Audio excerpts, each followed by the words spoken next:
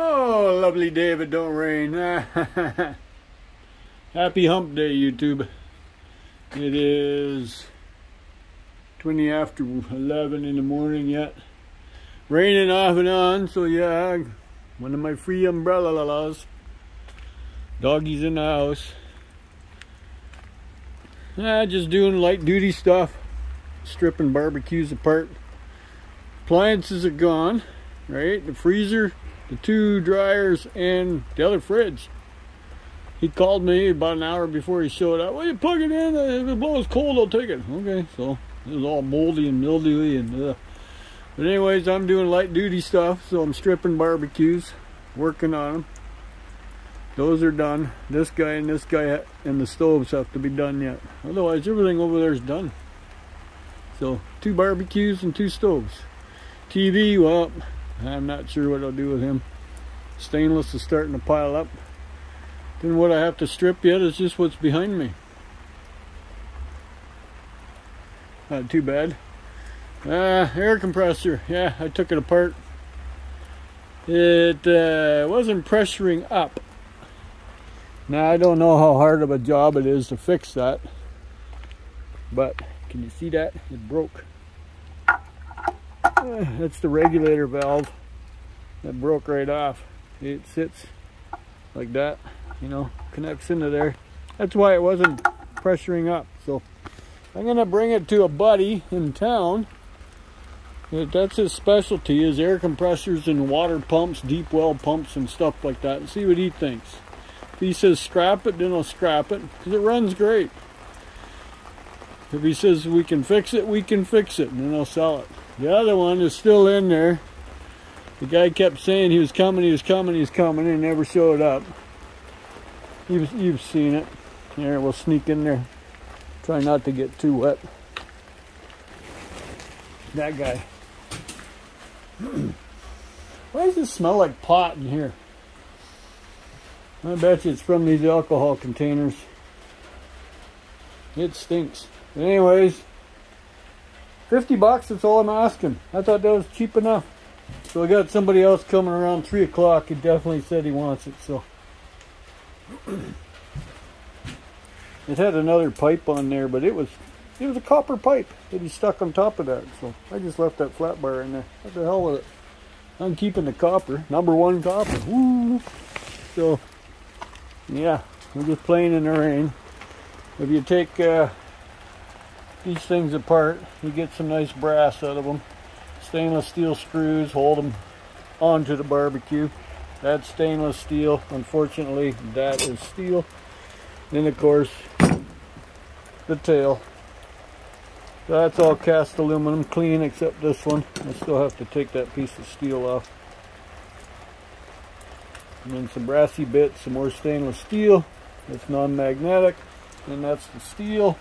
Most of the time these are brass, but see, sticks lovely to a magnet. Brass don't stick to a magnet. So. Yeah, not bad, eh? It's not the world's greatest umbrella. But look, my space is dry. And I can be outside. So yeah, supposed to rain off and on all freaking day long, so that's fine. We need the rain. Like look at the edge of my driveway. I did not do Roundup. That's just because of drought. We've been dry for a couple weeks now. So the other day we had a nasty storm roll through, but all it, all it, all it was was wind. Barely any rain. Blew a few things around. That's it. So I'm gonna rip my the roof of my gazebo. Yeah. So it's it's pooched. So anyways, this is the catch up you all seen last night or this morning Monday's video because well they're doing something with a pipeline over here in the grass like a couple buildings over and the guys dug and unburied that great big Ma Bell line that feeds everybody down this road. So we had no internet for about 30 hours. So I had the guy come around yesterday morning Called Monday night, they sent a technician over. So Tuesday morning he came over, he went straight to the box there. Yep, you got no power coming to the house. So he didn't even worry about it in the house. So he put a, a tracer on that. He hooked something up to it and then had the other control thingy and he went driving down the road and he found the end of it. So and they were working all day yesterday on it and we got internet about six o'clock six o'clock yesterday evening so that's why Monday's video was so late and uh, for some reason because we had no internet in the house I thought I could use a hotspot off my phone but my computer wouldn't allow it because it's saying there's no internet connection I said well that's why I'm trying to hook up to my phone to leech off my phone because I have unlimited data. It should have worked, but it wouldn't. Every time you come up to the hotspot button there on it, it was blank. You could put the cursor on it and it wouldn't do anything. So I don't know. Maybe I'm doing everything ass backwards, but whatever. So I'm just gonna, yeah, see, now it's letting up again. So yeah, I got a little bit of a mess. Those wheels, that, and then all my uh, doors here, I got about six or seven of them here. And the antenna, of course. Like this is all has to be done yet. That's all sheet aluminum. I think it's worth it. It's heavy sheet. So, yeah, that's what I've been up to. Just in case you're wondering, the back is feeling better. I'm watching what I do still every once in a while. It reminds me that it's not 100%. Well, it never will be because the the three discs in my lower bottom there by the tailbone are done. They're worn out. They're bone on bone, so nobody wants to fix them. So, yeah, I pop pills. Canada does not want to do that.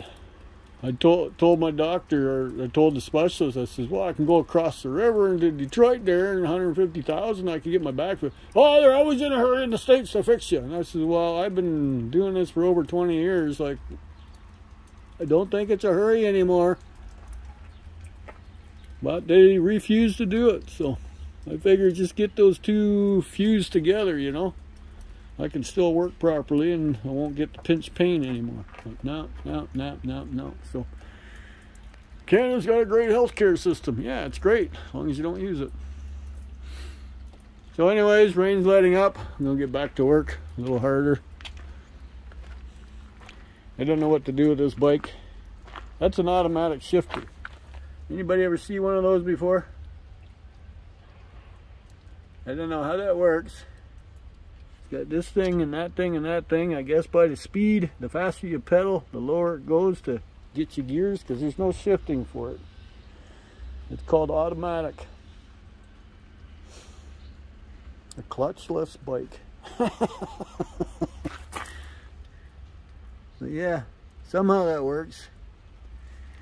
But my bike guy doesn't want it. They don't want to go anywhere near it. Okay, whatever. So It'll sit there. I'll put it somewhere.